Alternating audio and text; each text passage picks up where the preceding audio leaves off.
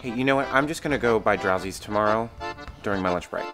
Oh my god. You are embarrassed to shop for a mattress with your husband Oh. because our sexy, manly sexuality Okay, okay, will be too much. Listen, I just prefer to come out on a need to know basis.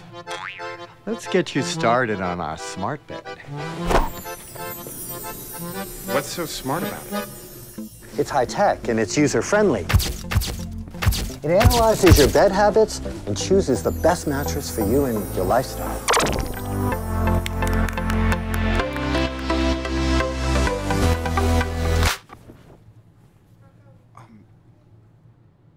Hey, bro. What's your body type is listed on your manhunt profile? What's manhunt? Oh, please.